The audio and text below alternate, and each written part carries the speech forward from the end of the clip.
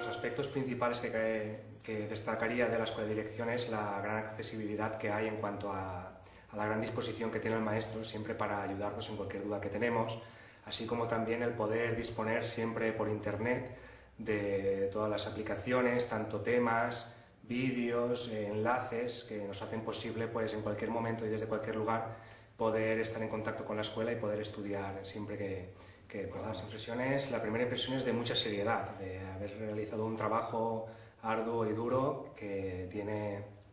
que viene de largo, que estamos ya trabajando durante, durante mucho tiempo, cada uno de los aspectos diferentes para llegar con las mejores condiciones posibles a, al examen. Los alumnos lo primero que les aconsejaría es que aprovecharan desde el primer momento los consejos del maestro, los temarios, los vídeos, que realicen los ejercicios que son muy interesantes para, para la continua formación.